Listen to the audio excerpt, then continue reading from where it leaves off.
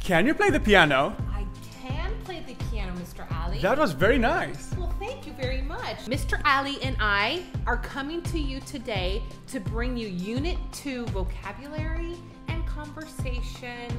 And so we want you to practice at home some of these. So, Mr. Ali, you asked me. Can you play the piano? I can play the piano.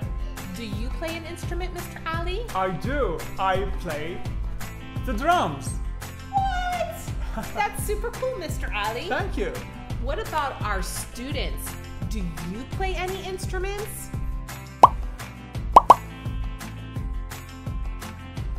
I can't wait to hear all about what you can play on Sunday. I'm waiting for your answers. Have a great weekend. Bye. Bye bye.